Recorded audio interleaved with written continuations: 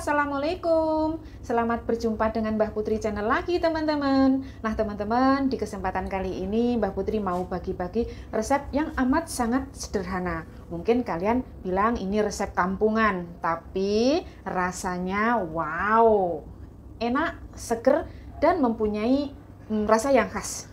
Nah teman-teman kalian penasaran kan? Lihat aja kalian pasti kepingin tahu bagaimana Mbah Putri memasaknya dengan hasil yang cantik, enak, sedap, gurih, campur jadi satu. Yuk kita langsung aja ke dapur melihat bagaimana Mbah Putri memasak sayur ini.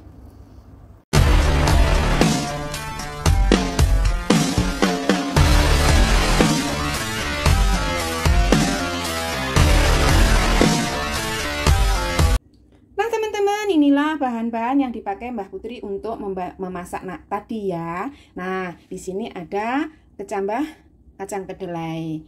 Ada paprika yang sudah diiris seperti ini. Nah, teman-teman, perlu kalian ketahui ya, Mbak Putri mengirisnya disesuaikan dengan bahan pokoknya. Jadi biar kelihatan gagah saat kita menyajikan. Karena penyajian adalah number one, teman-teman. Penyajian cantik, pasti orang tertarik juga. Kalau penyajian sayurnya lumpruk, ayah, itu pasti gak enak. Nah, itu dia. Nah, terus ini ada uh, celery yang sudah diiris seperti ini. Nah, cara mengiris celery teman-teman perhatikan ya kalau kalian tumis, jangan sampai diiris membujur. Harus diiris serong. Kenapa? Kalau membujur kesannya kaku dan rasanya lain ya, teman-teman ya.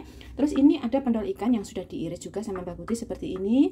Terus ini ada berambang, daun berambang dan daun ketumbar yang sudah diiris juga. Nah, teman-teman, ini bahannya. Sedang bumbu-bumbu yang dipakai Mbak Putri amat sangat simpel. Nah, tidak ribet, ya teman-teman. Ya Mbak Putri kalau masak bahan uh, resepnya hanya itu-itu saja. Kalau Mbak Putri berprinsip resep dan bahan tidak menjadi menjadi apa itu patokan untuk masakan menjadi enak teman-teman. Tapi bagaimana cara memasak kita itulah yang akan menjadi patokan kita menjadi masakan enak. Bahannya mahal resepnya bagus tapi kalian tidak bisa memasak. Tidak akan membuahkan hasil masakan yang bisa menarik di tengah-tengah keluarga tercinta kalian. Nah, teman-teman, nah ini bumbunya ya, teman-teman. Ini ada berambang merah, bawang putih, penyedap rasa, kecap asin, saus tiram, garam, dan gula. Nah, inilah teman-teman bahan dan bumbu yang dipakai oleh, oleh Mbah Putri. Kalau kalian kepingin rasa pedas, boleh ditambah dengan cabai ya, teman-teman. Nah, yuk kita langsung masak aja ya.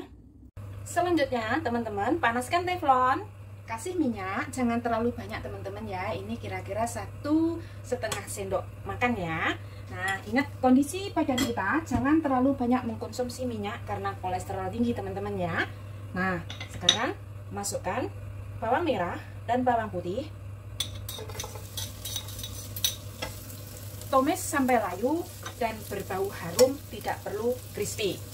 Nah ini sudah harum teman-teman masukkan pentol ikan tumis hingga kena minyak semua ya dan berwarna kecoklatan.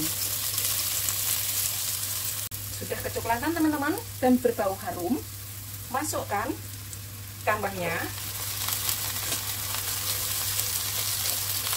ya oseng dulu biar agak layu ya ini kecambah sudah agak layu masukkan paprika.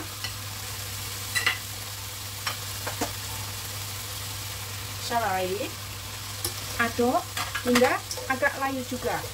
Baru kita masukkan bumbu-bumbunya. Semua sudah layu dan setengah matang teman-teman ini ya. Sekarang kita masukkan bumbu. Kita asin.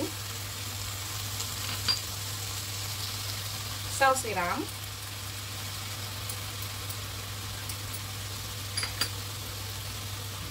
penyedap rasa?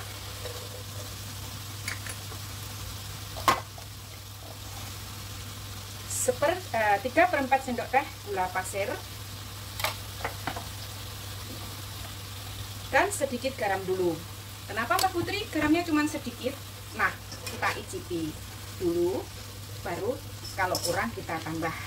Teman-teman perlu kalian ketahui ya memasak jangan terlalu asin kalau masih muda tidak masalah teman-teman kalau sudah tua seperti Mbak Putri ini berisiko tinggi teman-teman ya diperhatikan juga kita perlu sehat Nah, seperti ini nanti kita bisa ikuti.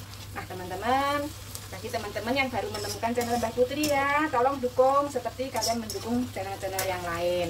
Biar sama-sama sukses seperti kalian semua. Nah, teman-teman tunggu dulu bumbunya meresap ya. Cantik kan? Ini sudah diicipi sama Mbak Putri, bumbunya oke banget.